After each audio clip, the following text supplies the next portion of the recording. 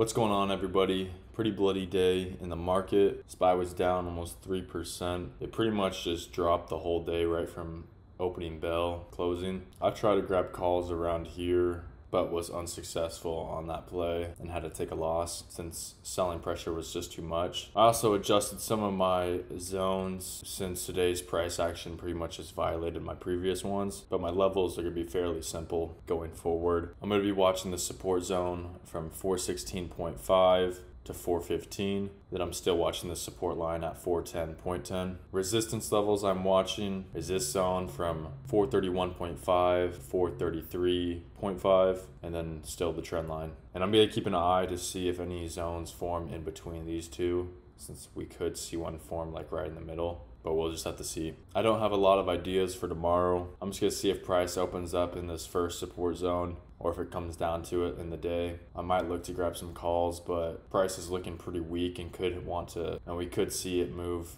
farther down, like to around this support line. That's pretty much my only idea. I mean, price could come up to this resistance zone, but I highly doubt it unless some major bullish news comes in the market. But I think price is going to want to keep heading lower. But we'll be watching tomorrow, see what new zones form. I'll alert anything I do in the Discord. But I hope you guys have a good rest of your evening. Take care.